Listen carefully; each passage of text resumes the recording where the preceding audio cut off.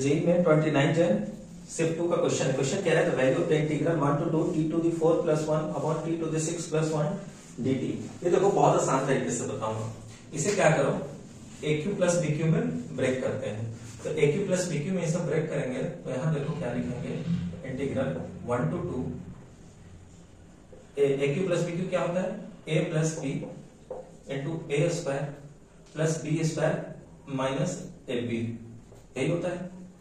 A square minus A B plus B square यही बना आपका A Q plus B Q का form इसको टी स्क्वायर का होल क्यू कर लेंगे, वही A Q plus B Q का फॉर्म अब देखो टी स्क्वायर प्लस वन ऊपर वाला हमें दिख रहा है तो हम ऐसे कर लें T square plus one minus T square और प्लस टी स्क्वायर ये हम कर ले ऐसे, ताकि कुछ कैंसिल हो. तो ऐसे ही इसको क्या करो? यहाँ से यहाँ, और इसको अलग सेग्रीगेट कर लेते हैं. तो क्या करेंगे? इंटीग्रल वन टू टू ये लिख लो T to the four plus one minus T square upon T square plus one T to the four minus T square plus one plus integral one से two इसको D T ठीक? ये भी D T पूरा।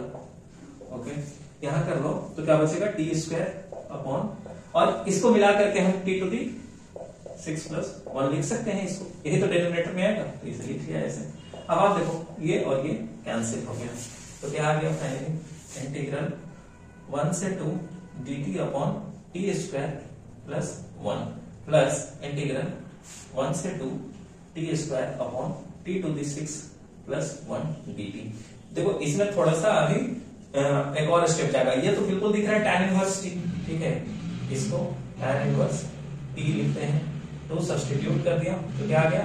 Tan inverse two minus of tan inverse जो कि कितना होता है? Pi by four. अब इसको सॉल्व करते हैं। आप देखो, टी क्यू को एम सपोज़ कर दिया तो three T square D T is equal to DM हो गया। यहाँ से टी स्क्वायर डी टी को सब्सटीट्यूट कर दो तो इंटीग्रल क्या हो जाएगा? डीएम अपॉन अब ये टी क्यू एम था तो टी क्यू का होल स्क्वायर है तो जो कि बन जाएगा M square plus one is equal to tan inverse m. m m के वैल्यू सब्स्टिट्यूट कर देते हैं, tan इनवर्स tq. तो ये बेसिकली कितना था tan इनवर्स tq, और ये 3 नीचे आ जाएगा, ठीक है? ये 1 by 3 यहाँ, dm by 3 ही होगा ये 3 नीचे आ जाएगा।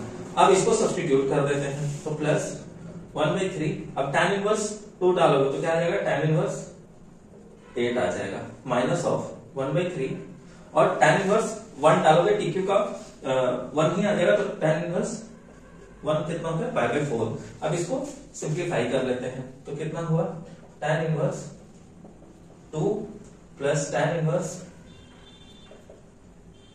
eight by three okay ये माइनस पैंतालीस और ये इसे minus five by four common ले लें। माइनस फाइव बाई फोर तो कितना आ जाएगा? फोर बाई थ्री आ जाएगा। तो कितना हो गया? माइनस फाइव बाई थ्री ठीक है? इसको finally minus five by three लिख दिया तो कौन सा ऑप्शन बनेगा आपका? ऑप्शन नंबर टू बनेगा tan inverse two plus tan inverse eight by ये सॉरी हाँ tan inverse eight by three बिल्कुल ठीक है. माइनस फाइव बाई थ्री तो ऑप्शन नंबर कौन सा बना? ऑप्शन नंबर टू इसका करेक्ट आंसर है. तो ये था बहुत आसान प्रोसीजर इसको सॉल्व करने का. ठीक है? बेसिकली हमें स्ट्राइक कैसे किया कि इसे फर्दर ऐसे सॉल्व करें, क्योंकि minus T square plus T square देख रहे थे, और A Q plus B Q ही बनाते।